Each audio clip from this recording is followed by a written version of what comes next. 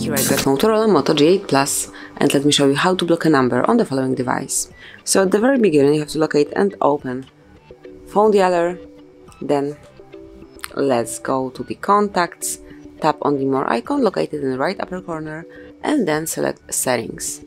And here you will notice blocked numbers, just click on it and if you'd like to block some particular number, just click on add a number and smoothly by entering the number, you can block some particular color. So let me block it. And as you can see from now on, this number will not be able to reach you. So you will not receive any calls or messages from this number.